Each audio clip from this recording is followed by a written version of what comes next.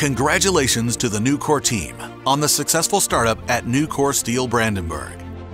This state-of-the-art plate mill is changing the American steel industry by melting and rolling some of the most advanced steel plate in the world. To the Brandenburg team and all the Nucor teammates who have helped bring this world-class operation to reality, thank you. You have made history. Welcome to the next chapter in American Steel.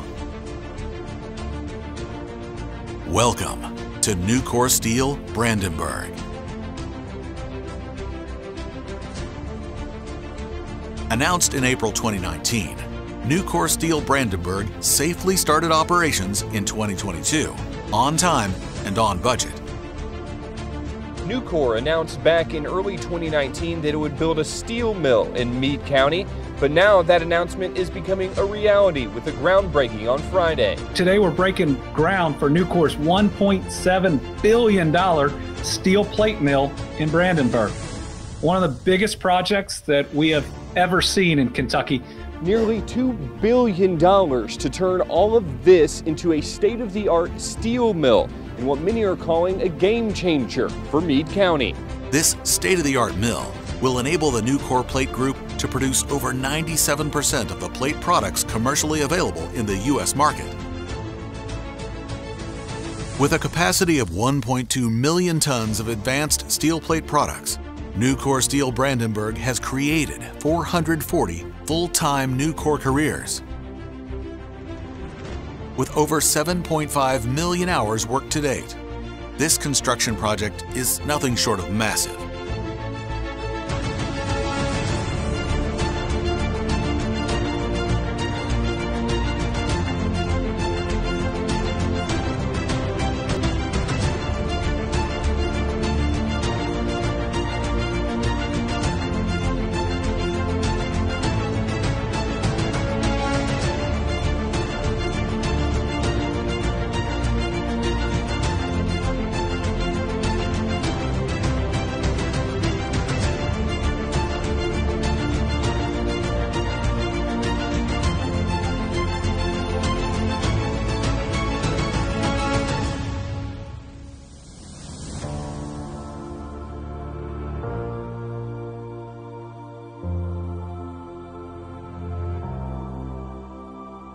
It took the combined effort of more than 2,000 contractors and many more Nucor teammates from around the country to complete the construction phase.